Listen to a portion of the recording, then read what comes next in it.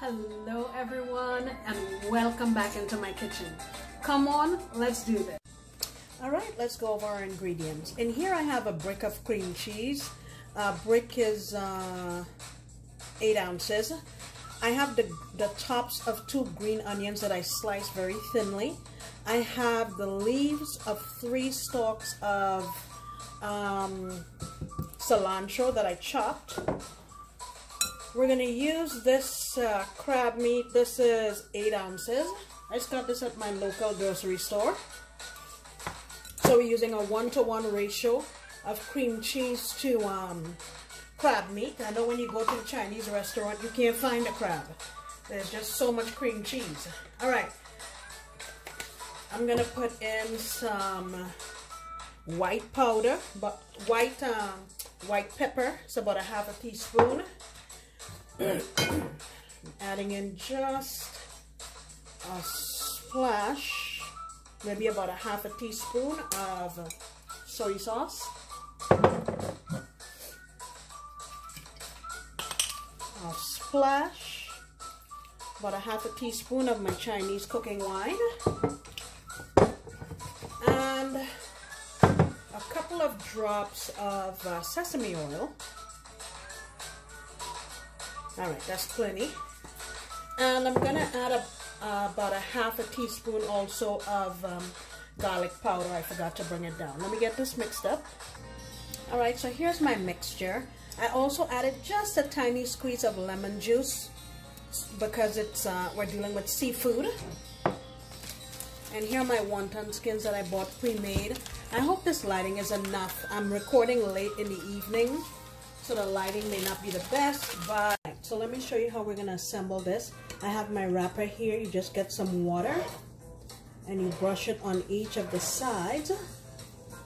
You get a little bit of your filling, maybe about a, a teaspoon or so. Pop it in the middle. And then you take the sides across from each other and you bring them together, but don't stick them just yet. Just hold them together and bring one side up and then do the same thing for the other side. Like so. See that? Capiche? Let's try one more.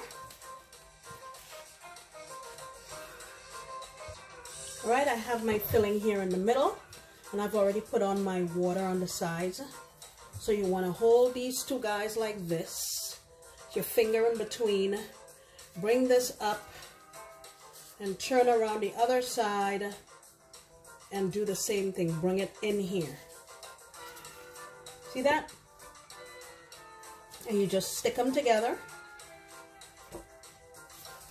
Bam. Okay? Now, there's an easy way you can do it also. Like so.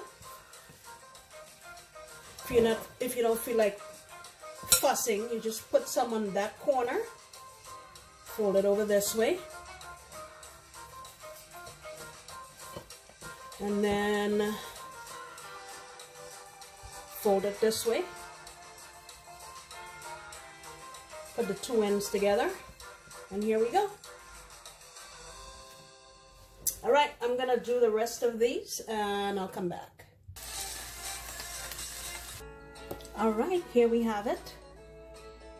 Look at that. And I'm serving that with, and let me tell you, these didn't take very long. Maybe a minute, maybe a minute in the oil. You have to remember everything inside is already cooked and you don't want to cook it too long and then your cheese melts too much. Um, so it took about a minute on high heat. I'm just serving it with this store-bought uh, sweet chili sauce However, you can just make something simple at home with ketchup, a little bit of honey, something like that to dip in, okay? So yeah, here we have it. Guys, thank you so much for stopping by. I sincerely appreciate you and I look forward to you coming back next time when I promise to make another delicious recipe. Bye.